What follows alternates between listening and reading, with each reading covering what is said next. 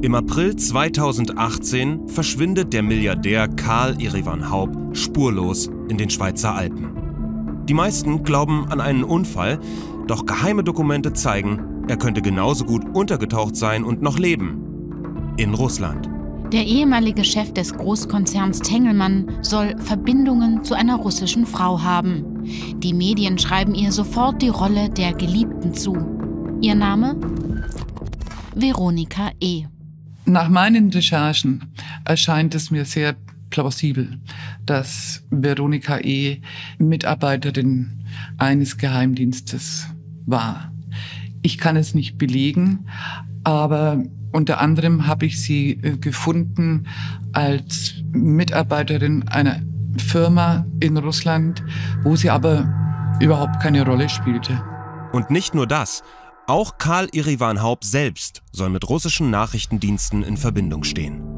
Hier ist das zunächst mal eine interessante Person generell aus nachrichtendienstlicher Sicht, als Einflussagent, als Person, die einfach abgeschöpft werden kann. Die geheimen Dokumente, die mir in meiner Recherche zugespielt wurden, stammen aus dem Umfeld von Karl Erivans Bruder Christian Haupt. Warum werden mir diese hochexplosiven Informationen einfach so übergeben? Und was ist dran an den Behauptungen? 11. Juni 2012 im Foyer der Tengelmann Firmenzentrale in Mülheim. Karl Erivan Haupt dreht sich um und scheint zu schauen, ob die Kameras laufen und alle ihm zuhören. Er hat nämlich hohen Besuch.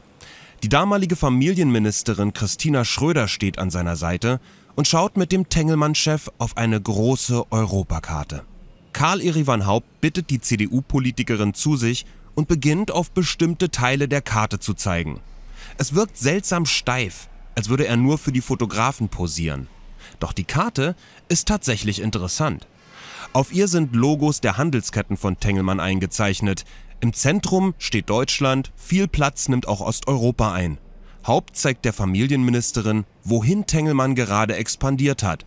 Stolz erzählt er, dass es schon 19 Obi-Märkte in Russland gibt. Auf der Karte ist in Westeuropa kein einziges Tengelmann-Logo zu sehen. Weder Kaisers noch Woolworth, Kick oder Obi, England, Frankreich, Spanien, alles leer. Die Strategie gehe auch nicht in diese Richtung, erklärt Haupt, sondern ins Internet und nach rechts. Rechts, das bedeutet auf der Europakarte gen Osten. Karl Erivan Haupt betont, was für eine große Chance das Ende des Kalten Krieges für Tengelmann bedeutet hat. Die Gelegenheit, sich ganz frisch und neu zu etablieren. Dann dreht Haupt sich um und spaziert mit Christina Schröder durch die Tengelmann-Zentrale. Er scheint sich Mühe zu geben, nie in die Kameras zu schauen. Die Fotos sollen authentisch aussehen. Der Konzernchef und die Ministerin tief im vertrauten Gespräch. Es wirkt wie ein Schauspiel, das vielleicht beweisen soll, ich expandiere nach Osten und ich habe die Verbindungen nach ganz oben. Doch wem will er das damals beweisen? 2012, sechs Jahre vor seinem Verschwinden. Karl Edwan Haupt wollte gerne auch in Russland Fuß fassen und ist dann mit der Marke Plus Lebensmitteleinzelhändler auch nach Russland gegangen und hat dort Geschäfte aufgezogen. Aber das hat sich nie gerechnet. Das war immer ein Verlustgeschäft. Ich glaube, man kann sagen, dass ähm, in, in der russischen Wirtschaft ein Großteil oder ein, ein viel größerer Teil des Geschäfts in der Grauzone sich abspielt, als es in, in einem westlichen Industrieland wie, wie Deutschland oder Frankreich ist. Also nach unserer Kenntnis äh, hat dieser ganze Russian Laundromat im Grunde funktioniert wie ein Service-Dienstleister für Geldwäsche.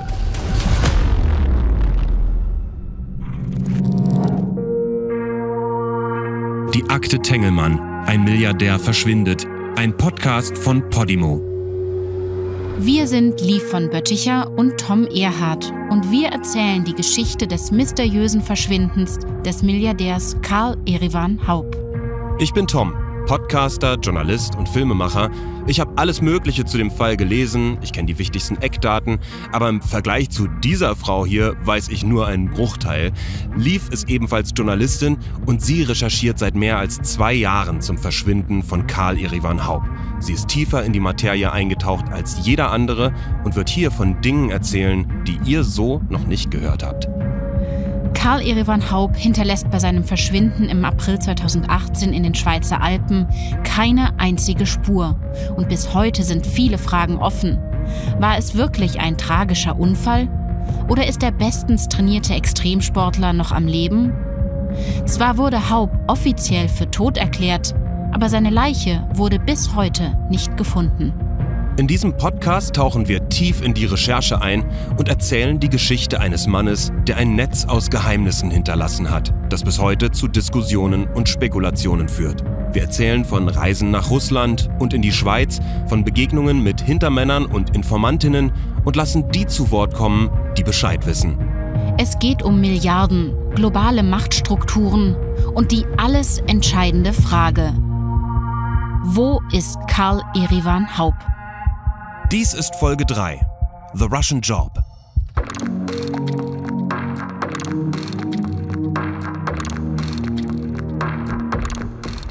Man muss sich, glaube ich, äh, in Erinnerung rufen, dass die 90er Jahre ja eine Zeit waren, die gerade aus Sicht deutscher Unternehmen eine sehr große, äh, eine Zeit der Möglichkeiten dargestellt haben in Osteuropa. Nils Kreimeier arbeitet für das Wirtschaftsmagazin Kapital und hat in den 90er Jahren selbst eine Zeit lang in Russland gelebt. Wenn man äh, nicht ganz so mutig war, dann hat man sich auf die späteren EU-Beitrittsländer wie Polen, die Tschechische Republik oder, oder Ungarn äh, fokussiert. Und die, die äh, Mut hatten und noch weitergegangen sind und vielleicht einfach auch die Ressourcen oder die Kontakte sind in die äh, Russische Föderation gegangen. Das war damals wirklich ein Wagnis Anfang der 90er Jahre und ähm, für viele aber eben auch eine große Chance. Die Gesetzeslage in der ehemaligen Sowjetunion war kurz nach dem Ende des Kalten Krieges alles andere als eindeutig.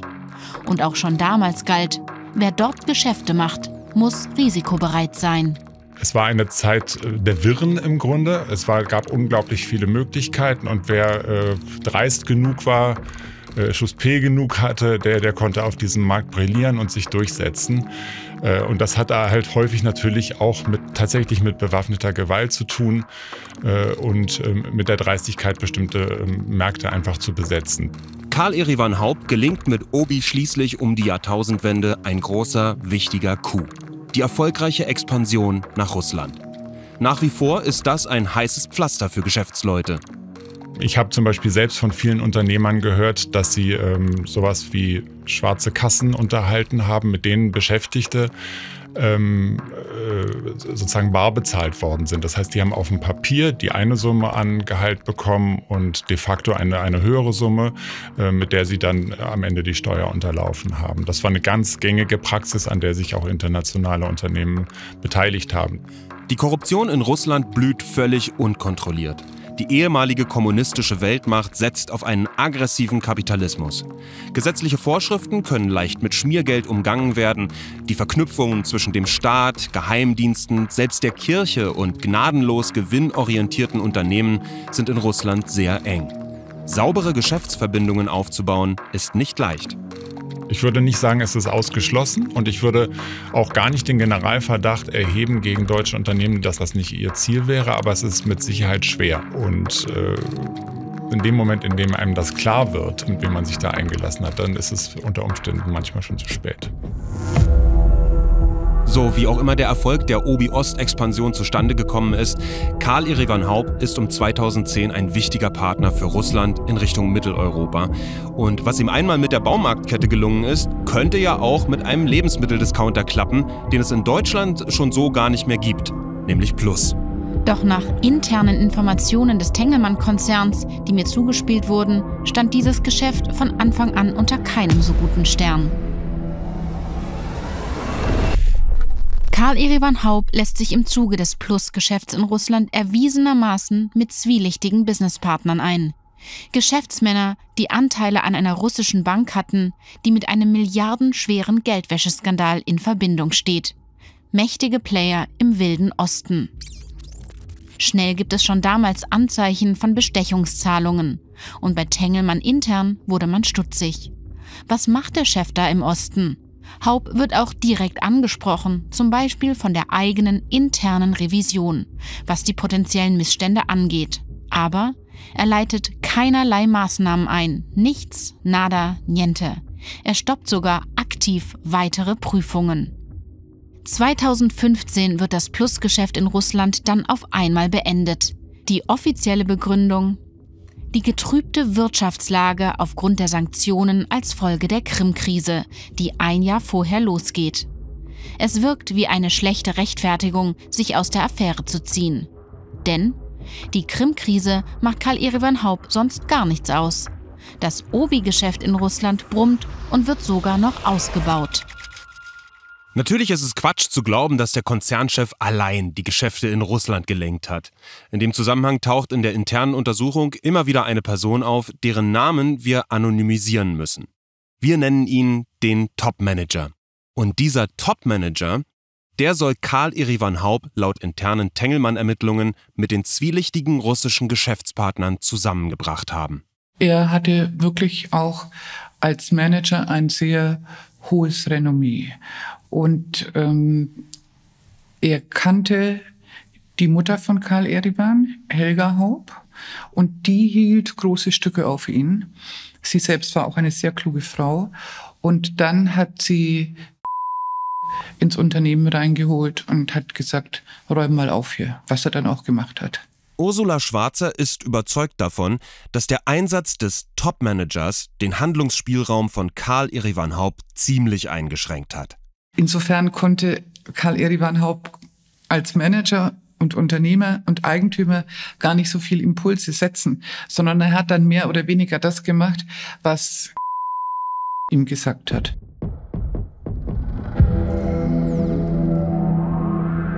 Für Karl Erivan Haupt wird der Top-Manager trotzdem nicht zu seiner Konkurrenz. Im Gegenteil.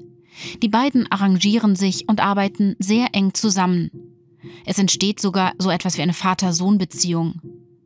Der Top-Manager hat nämlich schon erfolgreich diverse Firmen saniert und ist sehr gut in Russland vernetzt. Privat ist er lange Zeit mit einer etwa 30 Jahre jüngeren Russin liiert. Sie haben drei Kinder. Er hat Konten in Russland und verkehrt offenbar auch mit fragwürdigen russischen Oligarchen. Ich habe mehrfach versucht, mit diesem Top-Manager zu sprechen. Das ging aber nur über seinen Anwalt. Der hat dann im Grunde alles dementiert. Es stand beispielsweise der Vorwurf im Raum, dass der Top-Manager für russische Nachrichtendienste gearbeitet haben soll. Das wird abgestritten. Genauso wird behauptet, der Top-Manager habe keine Unternehmensbeteiligungen in Russland. Und das ist ganz klar eine Lüge.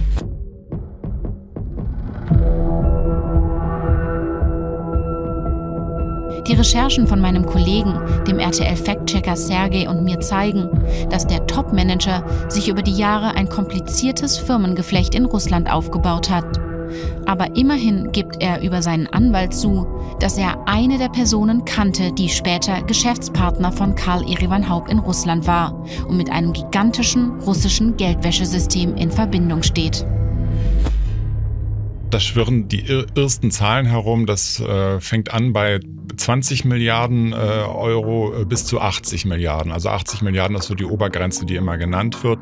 Karl Erivan hatte gleich drei fragwürdige russische Geschäftspartner bei seinem Versuch, die Supermarktkette Plus in Russland zu etablieren. Ihre Namen? Sustalchev, Brodsky und Grishin. Warum und wie Karl Erivan Haupt gegen jede unternehmerische Vernunft mit diesen drei seltsamen Figuren in Kontakt gekommen ist, können wir nicht beweisen. Fakt ist aber, dass der Topmanager zugibt, einen dieser drei persönlich gekannt zu haben. Andrei Sustalchev. Es ist erwiesen, dass der Topmanager der Link ist zwischen Karl Erivan Haupt und diesem Sustalchev. Sustalchev ist ein wirtschaftliches Schwergewicht. Er ist jemand in Russland. Er schafft es aber trotzdem, sich komplett aus der Öffentlichkeit rauszuhalten. Es gibt keine Presseberichte, keine Fotos, einfach gar nichts über ihn im Netz. Zum Glück wird mein RTL-Recherchekollege Sergei fündig mal wieder. Er treibt über seine Kontakte in Russland eine Kopie des Reisepasses von Sustelchev auf. Auf dem Passfoto wirkt er erstmal unauffällig, ein ganz durchschnittlicher Mann mittleren Alters mit kalten, intelligenten Augen. Der Reisepass ist dann der Schlüssel zu weiteren Informationen, nämlich zu Reisen von Sustalchev. Über russische Datenleaks finden Liv und Sergei heraus, wo der Mann so unterwegs war. Die Liste ist nicht besonders lang, es gibt auch Lücken von mehreren Jahren, das ergibt aber auch Sinn, denn schließlich hat er vermutlich viele Reisen außerhalb Russlands gebucht und war wohl immer wieder auch im Privatjet unterwegs. Wir können bei den Reisen aber direkt ein Schema entdecken. Es gibt fast ausschließlich Linienflüge zwischen Moskau und Genf und mehrfach Kurztrips nach Zypern und auf die Krim. Und es sieht ganz danach aus, dass Sustelchev offenbar die meiste Zeit in Genf lebt Dort hat er auch eine offizielle Adresse. Er hat natürlich auch eine Schweizer Telefonnummer, die auf ihn registriert ist. Und genau diese Nummer hat Karl Erivan Haupt angerufen, kurz nach dem Tod seines Vaters, ein paar Wochen vor seinem eigenen Verschwinden. Und zwar an einem Tag viermal innerhalb von zwei Minuten. Das ist ja etwas vor dem Verschwinden auch gewesen, dass da vielleicht geschäftlich irgendwas in die Wege geleitet wurde, zum Beispiel.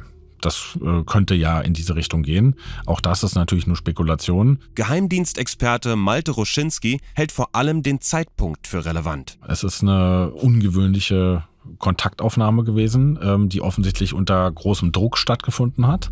Andrei Sustalchev, den Karl Irivan Haub am 11. März 2018 so dringend sprechen muss, ist eine überaus interessante Person. Er ist ein Phantom, taucht nirgends auf Gleichzeitig ist er aber Anteilseigner der Rosefro Bank, einer Bank, die eine Schlüsselrolle in einem der größten Geldwäscheskandale in Russland spielt. Und er ist nicht der einzige Partner im Plus-Russland-Geschäft von Tengelmann mit Verbindungen zu dieser korrupten Bank.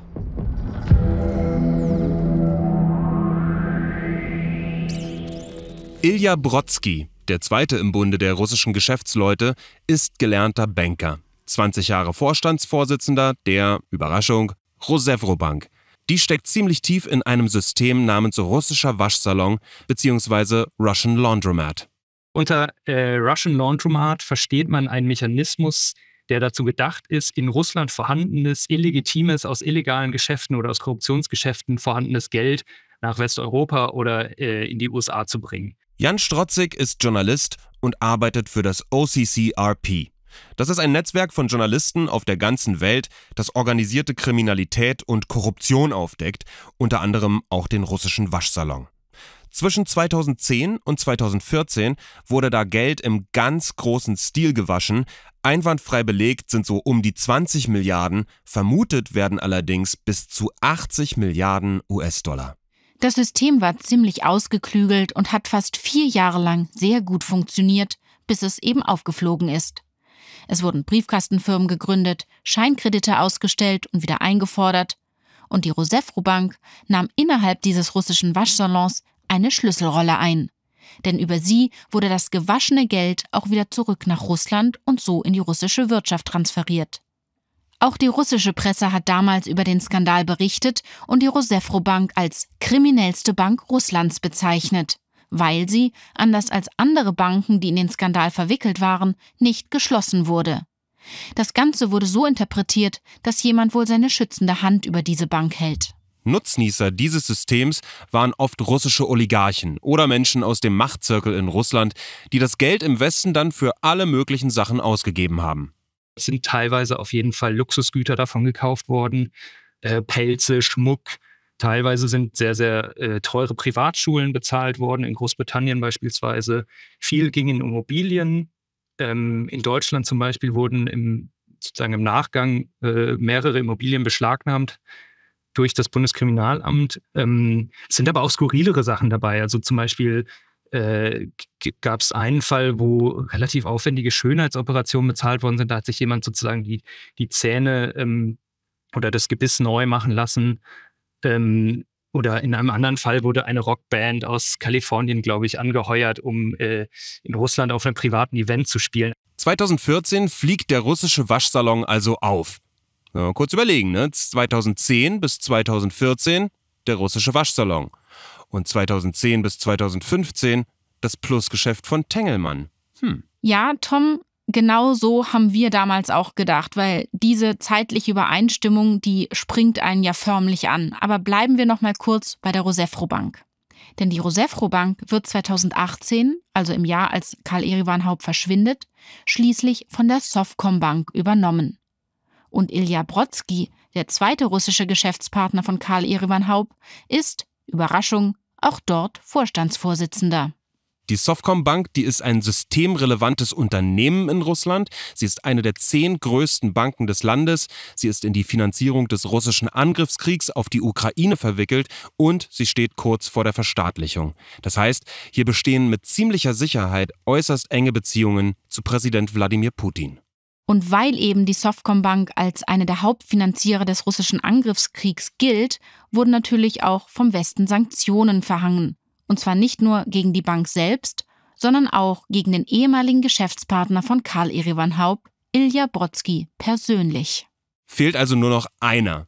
Den dritten Geschäftspartner von Karl Erivan Haupt, den haben wir uns aufgehoben. Der ist noch eine Nummer, ich sag einfach mal spezieller als die beiden anderen. Sozusagen das große Finale des skurrilen Trios. Think twice. And you wanna fuck me. Think twice. Please open this black box. So what is a black box? Drag it out. What is a black box? Oh my goodness, that looks like pieces of paper. How I robbed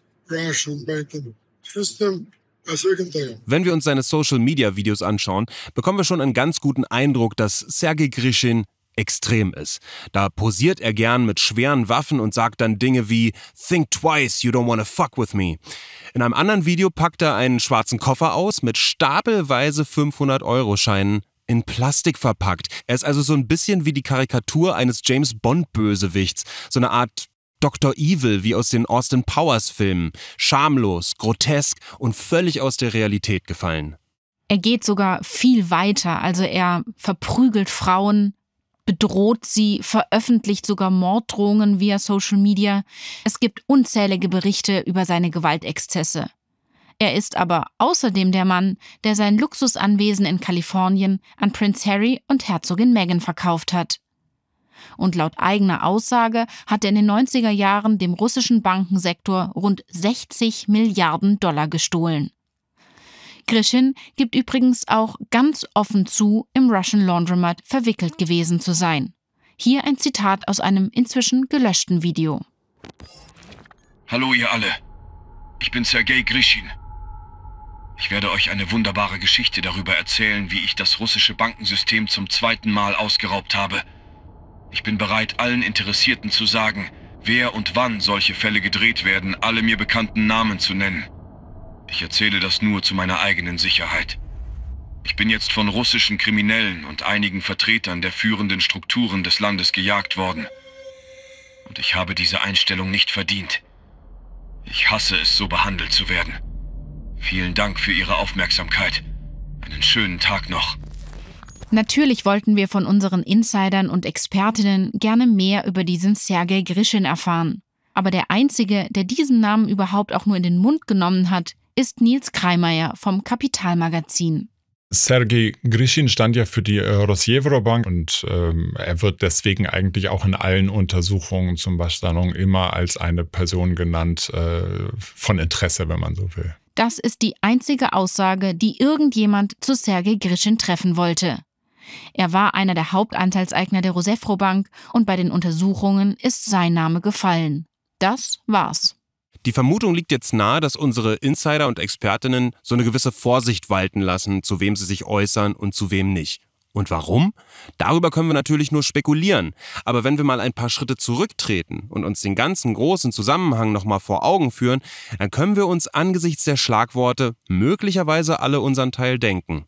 Russische Geheimdienste, Korruption, Geldwäsche von bis zu 80 Milliarden US-Dollar. Ja, und irgendwo da drin steckte offenbar auch Karl Erivan Haupt.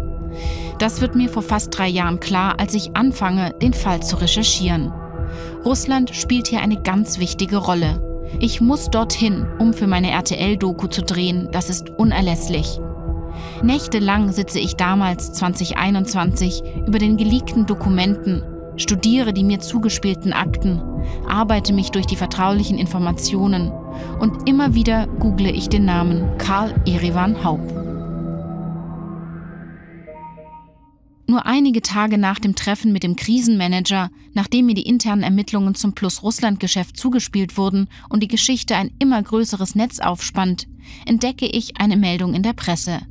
Die Westdeutsche Allgemeine Zeitung, kurz Watz, titelt Wende im Fall Haub. Überraschend wollen nun auch Ehefrau und Kinder den verschollenen Tengelmann-Chef für tot erklären lassen. Und ich kann's kaum fassen. Zur Erinnerung, Katrin Haub hat sich bisher geweigert, ihren Mann für tot zu erklären, denn dann würden die Erben seine Firmenanteile zwar bekommen, aber auch eine hohe Erbschaftssteuer bezahlen. Hunderte Millionen Euro würden so flöten gehen. Auf der anderen Seite versuchen Christian Haubs interne Ermittler gerade nachzuweisen, dass Karl Erevan Haub entweder absichtlich untergetaucht ist oder er vielleicht auch in kriminelle Machenschaften verwickelt war denn dann könnte man ihn einfach als Gesellschafter aus der Firma ausschließen. Christian Haupt könnte dann wiederum die Unternehmensanteile seines Bruders zu einem vorher im Gesellschaftervertrag festgesetzten Preis übernehmen. Die internen Ermittler haben deshalb die Aufgabe, den finalen Beweis zu besorgen, dass Karl Erivan Haupt noch in Russland lebt. Sie sollen Fotos besorgen, die das zweifelsfrei belegen. Ich stelle jetzt hier mal eine Vermutung auf. Für mich klingt es so.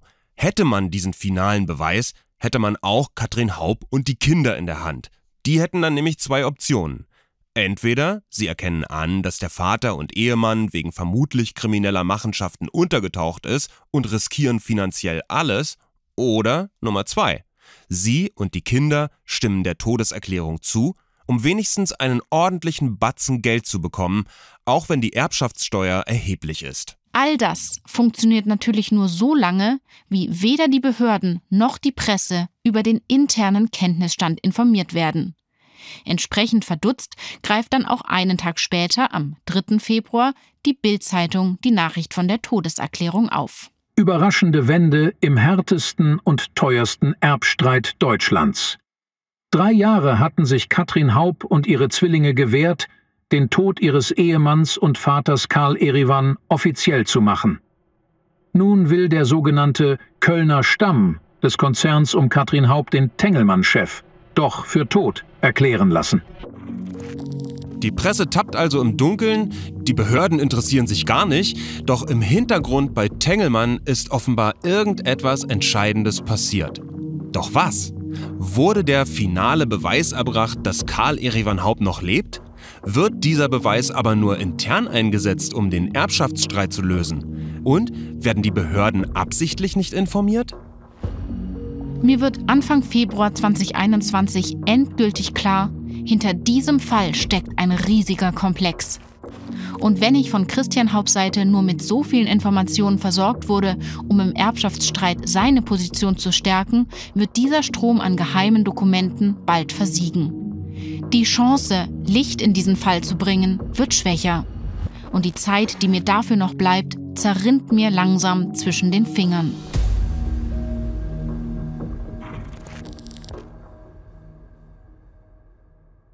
Seit Lief im Januar 2021 mit ihren Recherchen rund um das Verschwinden Karl Erivan Haupts begonnen hat, sind einige Wochen vergangen. Ihr wurden Dokumente zugespielt, die Verbindungen des Verschwundenen zu russischen Geschäftsleuten und Verwicklungen mit dem russischen Geheimdienst vermuten lassen. Für eine saubere Recherche muss ich aber nach Russland. Dort, wo Karl Irivan Haupt möglicherweise untergetaucht ist. Ich habe den Antrag auf ein Visum gestellt, das mir aber immer noch nicht bewilligt wurde. Nicht irgendein Touristenvisum, sondern ein offizielles Journalistenvisum mit dem ich nicht nur einreisen, sondern auch vor Ort recherchieren und vor allem vor Ort drehen darf. Die besten Spuren nach Russland führen alle zu einer Person. Veronika E. Geliebte, Spionin, einfach eine harmlose Bergsteigerfreundin? In welcher Beziehung stehen Veronika E. und Karl Erivan Haub? Offiziell äußert sich die Familie Haupt nie zu Veronika. Lief muss diese Frau also unbedingt treffen und mit ihr sprechen. In Moskau. Während ich auf mein Visum warte, stecke ich aber in Deutschland fest. Aber auch von hier aus können wir Dinge über Veronika herausfinden. Ich weiß von einem der internen Ermittler von Tengelmann, dass jemand von Seiten des Konzerns tatsächlich mal mit ihr telefoniert hatte, und zwar etwa eine halbe Stunde. Veronika hat in dem Gespräch behauptet, sie wisse zwar, wer Karl Erivan Haupt sei, kenne ihn aber persönlich nur kaum. Doch stimmt das wirklich? Wir heften uns digital an ihre Fersen, finden unzählige Social-Media-Accounts, die auf sie zurückzuführen sind, und wir entdecken in Datenleaks die dazugehörigen Passwörter. Ja, da bin ich eigentlich so ein bisschen enttäuscht, weil ähm, man im nachrichtendienstlichen Bereich nicht nur da, aber vor allem da sich ein bisschen mehr Kreativität äh, wünschen könnte oder erwarten könnte, äh, wenn es um äh, die Datensicherheit, Informationssicherheit äh, und Cybersicherheit geht. Also das sind schon Passwörter, die sehr, sehr simpel sind, leicht zu erraten. Geheimdienstexperte Malte Roschinski spricht hier von Passwörtern, die Veronika E. für diverse Accounts hatte. Und die haben es in sich. Sie lauten zum Beispiel Karl 46 Haub oder Karl Hau. Und so geht's weiter und weiter und weiter.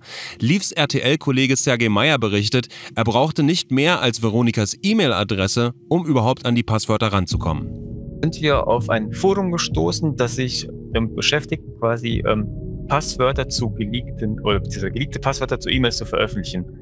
Und uns wurden da, glaube ich, drei oder vier Passwörter ähm, angezeigt, die irgendwie immer Karl Haup hießen was wir sehr suspekt fanden natürlich und für uns aber andererseits eine Bestätigung war, okay, diese Person steht in irgendeiner Verbindung zu Karl Erdogan Haupt. Und da hatten wir so die erste Spur oder das erste Indiz, dass wir so auf der richtigen Spur sind mit dieser Frau. Natürlich ist bei uns aber sofort die Frage aufgetaucht, warum Veronika diese Passwörter gewählt hat. Warum ausgerechnet Karl 46 Haupt? Aus Liebe? War sie doch für den russischen Geheimdienst FSB aktiv und führte mit unterschiedlichen E-Mail-Adressen und den entsprechenden Passwörtern ihre Zielpersonen, also die Leute, für die sie persönlich zuständig war? Oder gibt es noch andere Erklärungen? War das bewusst so, weil man damit gerechnet hat, dass diese Passwörter irgendwann mal geleakt werden, äh, um dann bestimmte Spuren zu legen in Richtung K. Erevan Haupt? Ähm, diese verschwörerische Frage stellt sich natürlich immer. Oder ist das hier mal wieder ähm, äh, ja einfach ein handwerklicher Fehler, eine handwerkliche Ungenauigkeit, eine kleine Schlamperei, sage ich jetzt mal aus handwerklicher Sicht, ähm, wo ja jemand nicht so drauf geachtet hat und wo Frau E. da halt auch gesagt hat, ja gut, also egal, ich muss es mir schnell merken können. Malte Oschinski hält vor allem eine dieser Erklärungen für wahrscheinlich. Wenn man sich das in, also gemeinsam damit anschaut, wie sie sich ähm, präsentiert hat in der Öffentlichkeit, also mit deutlich mehr äh, äh da, zur, zur Schau gestelltem Reichtum, als ihr Einkommen hergeben würde, dann würde ich eher darauf tippen, dass es ein handwerklicher Fehler ist. SUVs, Luxusapartment und Extremsport an exklusiven Orten. Wir tragen im Laufe der Zeit immer mehr Material über Veronika zusammen. Wir kennen ihren vollen Namen, ihre Versicherungsnummer, zwei Telefonnummern und ihre diversen Passnummern. Mit diesen Informationen kann Sergei Datenleaks nach Reiseinformationen durchsuchen. Über 200 Seiten trägt er zusammen, eng bedruckt in kyrillischer Schrift für die Zeit von 1999 bis 2021. Und die Reiseziele von Veronika, die verändern sich. Bis 2011 sind das vor allem Russland und die Krim. Oft reist sie für ein bis zwei Tage an Orte, die irgendwas mit Rüstung und Militär zu tun haben. Ab 2012 schlägt das plötzlich um. Jetzt reist sie immer mehr nach Europa und in die USA. Sie ist sehr oft in München, Berlin, Frankfurt, Hamburg, Zürich, Genf, Mailand, Rom, New York und auch Los Angeles. Geld scheint keine Rolle zu spielen. An einem Tag ist zum Beispiel eine Reise nach Berlin gebucht, für den Folgetag dann gleich zwei Rückflüge nach Moskau, einer aus Berlin, einer aus Hamburg. Nehmen wir also mal die Möglichkeit in Betracht, dass Veronika tatsächlich Geheimdienstmitarbeiterin ist, könnte man den Eindruck bekommen, na, wurde hier jemand befördert und bekommt ein neues Einsatzgebiet? Uns hat natürlich am meisten interessiert, ob Veronikas viele Reisen in irgendeinem Zusammenhang mit den Reisen von Karl Irivan Haupt stehen. Und tatsächlich. Zwischen 2009 und 2015 sind beide neunmal zur selben Zeit an denselben Orten. In Minsk, Sochi, Omsk. Nicht unbedingt die erste Wahl für romantische Getaways. Dass hier zwei Turteltauben eine Affäre haben, drängt sich zumindest nicht sofort auf. Auffällig ist auch eine Reise der beiden vom 25.05.2009. Am Vortag reist Veronika erstmal von St. Petersburg nach Moskau, nur um dann einen Tag später mit dem Nachtzug wieder nach St. Petersburg zurückzufahren. Und Karl Erivan Haub hat auch eine Buchung für eben diesen Nachtzug. Veronika ist im Abteil 7, er in Nummer 9. Beide Tickets wurden gleichzeitig gebucht, aber die getrennten Abteile auch die klingen jetzt nicht unbedingt nach einem romantischen Ausflug zu zweit. Wenn es die gemeinsamen Reisen betrifft von, von Herrn Haub und äh, von der Frau E., äh, dann sieht das schon so aus, dass die offensichtlich die gemeinsame Reise verschleiern wollten, dass da also irgendeine Art von konspirativen Zweck äh, da zugrunde liegt. Das ist dann offensichtlich ähm, so, dass man dann natürlich versucht, durch einfache Maßnahmen äh, die, äh, das gemeinsame Reisen in irgendeiner Form schwer ermittelbar zu machen. Malte Roschinski vermutet bei den Reisen einen geheimdienstlichen Hintergrund. Also hier, das deutet darauf hin, dass das äh, konspirative Zwecke hatte. Welche konkreten, weiß man natürlich nicht. Noch weitere Indizien deuten klar in Richtung Geheimdienst. Offiziell ist Veronika in der Wohnung ihrer Mutter und ihres Stiefvaters gemeldet, in einem Außenbezirk von St. Petersburg, einer Gegend mit heruntergekommenen Plattenbauten, sehr einfach, um nicht zu sagen ärmlich. Gerade mal 53 Quadratmeter hat diese Wohnung. Doch das ist nur die Fassade. Sie selbst wohnt nämlich in einem Luxusapartment und das hat mein RTL-Kollege Sergei unter die Lupe genommen oder ich habe dann ähm, im Katasteramt von St. Petersburg geschaut, nachdem ich die Adresse herausgefunden hatte von dieser Wohnung, auf wen ist diese Wohnung registriert. Und da war tatsächlich ersichtlich, dass diese große Wohnung in einem schönen Viertel in St. Petersburg auf ihren Namen registriert ist. Was uns natürlich ein bisschen überrascht hat. Und das stellt natürlich auch mal wieder die Frage, wie kann Veronika E. sich so eine Wohnung überhaupt leisten? Dann haben wir uns das Handelsregister Auszüge des Unternehmens besorgt. Man kann sich anschauen, wie ist die wirtschaftliche Situation des Unternehmens, welche Umsätze hat das Unternehmen in den letzten Jahren gemacht. Und es hat nicht so ganz zusammengepasst zu dem Lebensstil von Veronika E. Dann haben wir über eine andere Quelle wiederum ähm, ein ja, Einkommens- oder mehrere Einkommensnachweise aus den letzten Jahren bekommen und die waren relativ klein. Also allein mit ihrem Einkommen kann man ihren Lebensstil nicht erklären. Das war für uns so der erste Moment, der sehr ähm, ja, verdächtig war. Das Unternehmen, von dem Sergei hier spricht, ist natürlich Russian Event, die Agentur, für die Veronika arbeitet. Die Agentur, die eine Geburtstagsfeier für Karl Erivan Haupts Mutter ausgerichtet hat, bei der Haub und Veronika sich kennengelernt haben. Das konnte uns zum Beispiel die Agenturchefin belegen. Sie hat mir dann auch Fotos gezeigt von dieser Feier, wollte sie mir aber nicht überlassen, weil sie Angst vor Klagen durch Tendelmann hatte. Aber so hatten wir auf jeden Fall eine Bestätigung, dass es diese Verbindung halt gab. Der Einkommensnachweis von Veronika, den Sergei organisiert, zeigt, ihr offizielles Gehalt sind ca. 10.000 bis 12.000 Euro. Und zwar nicht im Monat, sondern im Jahr. Dazu die Eigentumswohnung im Admiralsbezirk in St. Petersburg, das Luxusapartment im gläsernen Hochhaus in Moskau. Sie fährt einen fetten SUV von Land Rover und jettet quasi ständig durch die Weltgeschichte. Also es deutet schon so ein bisschen darauf hin, dass da offenkundig noch eine andere Einnahmequelle ist, möglicherweise nachrichtendienstlicher Natur. Falls wirklich Geld aus dieser Quelle geflossen sein sollte, sieht Geheimdienstexperte Malte Ruschinski hier mal wieder schlechtes Handwerk wenn man äh, handwerklich sauber vorgehen würde, ähm, agentenmäßig unterwegs ist, ähm, würde man professionell versuchen zu verschleiern, dass man eigentlich mehr Geld verdient und sich eben nicht die Luxushandtaschen gönnt und äh, den Sportwagen, weil genau das ja auffällig ist und dann äh, entsprechend die roten Flaggen wehen lässt im, im Umfeld äh, oder bei Investigativjournalistinnen und Journalisten, die sich mal damit äh, befassen. Leaf und Sergei durchleuchten alle Daten, die sie in die Finger bekommen, und dazu gehören auch Telefonlisten. Normalerweise telefonieren Karl Erivan Haub und Veronika nur sehr kurz miteinander. Das ändert sich allerdings ausgerechnet in der Nacht vor Karl Erivan Haubs Verschwinden in den Schweizer Alpen.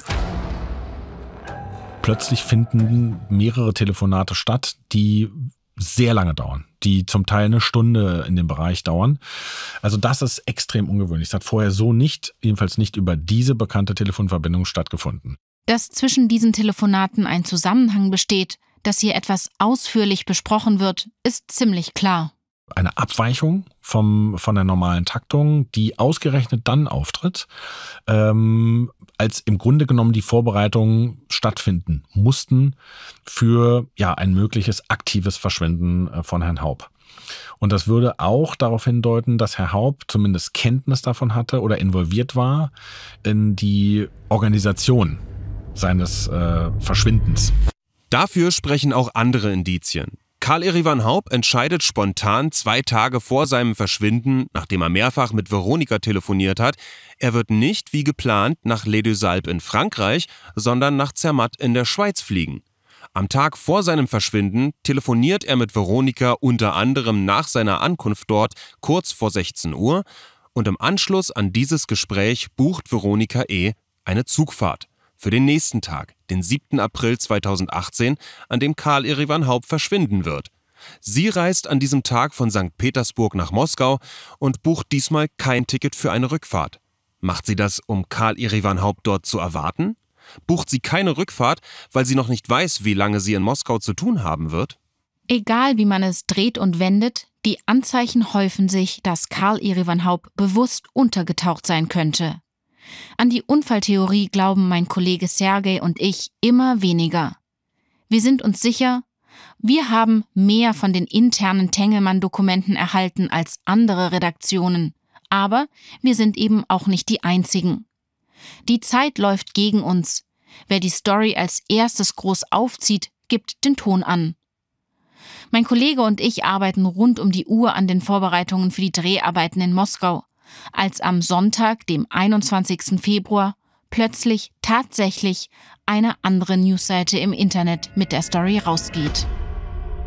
Interne Tengelmann-Ermittlungen. Verschollener Milliardär Karl Erivan Haub soll Verbindungen zum russischen Geheimdienst gehabt haben. Es ist für mich nur ein schwacher Trost, aber der Artikel dieses Kollegen ist voller Fehler. Namen, Ereignisse, es hakt erheblich hier und da. Eines stimmt allerdings. Der Artikel betont sinngemäß, die Ermittlungsakten zu dem Fall sind teilweise schon seit Jahren bei Tengelmann unter Verschluss und wurden den Behörden offenbar nie übergeben. Und das ist für mich der schwerwiegende Vorwurf. Familie Haub hat seit geraumer Zeit Anhaltspunkte, dass ihr Tengelmann-Konzern in schmutzige Machenschaften verstrickt sein könnte. Geldwäsche, Geheimdienste und so weiter. Davon, dass sich Katrin Haub laut Presseberichten vor einigen Wochen der Todeserklärung angeschlossen hat und was das bedeuten könnte? Kein Wort im Artikel. Die Last der Berichterstattung und die Brisanz der Infos, die man einfach so der Presse zugespielt hat, scheint tatsächlich nun auch meinen Kontakt, dem engen Vertrauten von Christian Haub, erst richtig klar zu werden. Wie kann das sein? Schließlich hat er uns die Dokumente doch zugespielt, damit wir sie verwenden. Hat er sie jemals selber bis zum Ende gelesen? Um den Anschluss an die Geschichte nicht zu verlieren, schreibe ich noch in derselben Nacht für ntv.de einen eigenen Artikel. War zu 95 Prozent kein Unfall hatte Hauptkontakt zum russischen Geheimdienst?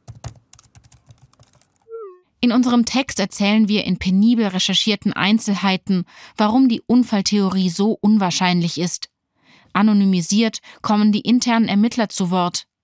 Ich will eines klarstellen. Wir sind bei der Recherche weiter als die anderen. Zu dem, was die Todeserklärung bedeuten könnte, schreibe aber auch ich nichts. Ich brauche mehr Fakten und möchte die Bombe nicht zu früh platzen lassen.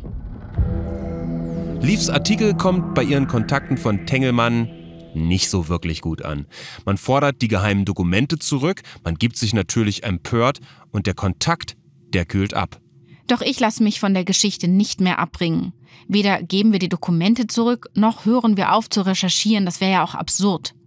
Wir bereiten weiter die Doku für RTL vor, versuchen auf anderen Wegen an Infos zu kommen und planen die Dreharbeiten in Zermatt und Russland. Und ich frage mich, wo bleibt eigentlich mein offizielles Journalistenvisum, mit dem ich in Moskau drehen darf? Lief, ich habe gerade gehört, dass dir prinzipiell kein Visum gegeben wird.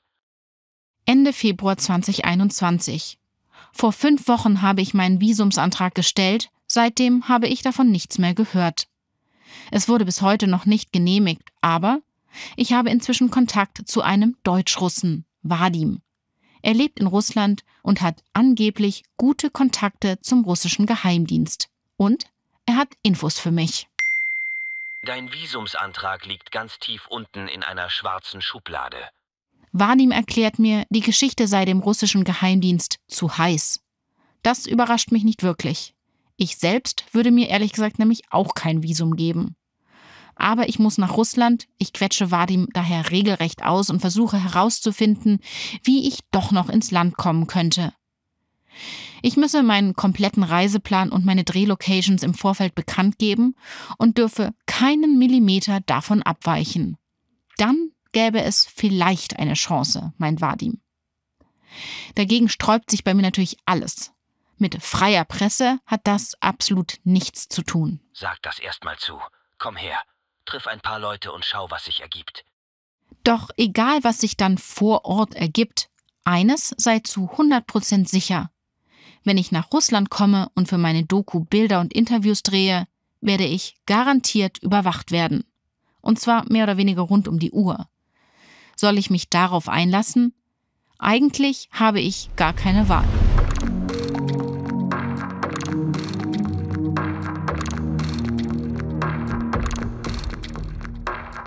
Ja, es gibt tatsächlich eine sehr enge Verflechtung in Russland zwischen Nachrichtendiensten, dem gesamten nachrichtendienstlichen Milieu äh, und äh, politischen und wirtschaftlichen Entscheidungsträgern. Das ist ähm, extrem eng. Das gibt es auch in anderen Staaten. Russland ist natürlich deshalb von besonderem Interesse, weil es ein relativ mächtiger Staat ist. Eine Mittelmacht, mindestens eine Regionalmacht. Ähm, der flächengrößte Staat der Welt ähm, mit Verflechtungen und äh, Verstrickungen in äh, alle Teile der Welt. And so it's very plausible to assume that there are people, um, if they know people in the right places, um, and they would definitely get access to this type of data. Das Zweite, was man, glaube ich, verstehen muss, ist, dass ähm, diese äh, klare Trennung, die wir gewohnt sind äh, zu ziehen im Westen zwischen ähm, zwischen dem Staat äh, und zwischen der Wirtschaft, wenn man das so will, dass die in Russland nie bestanden hat, jetzt nicht besteht und auch in absehbarer Zeit nicht bestehen wird. Ähm, weil es eine, eine klare Verflechtung zwischen diesen beiden äh, Szenen gibt, die umso größer wird, je größer das Unternehmen und die zu erwartenden Gewinne sind.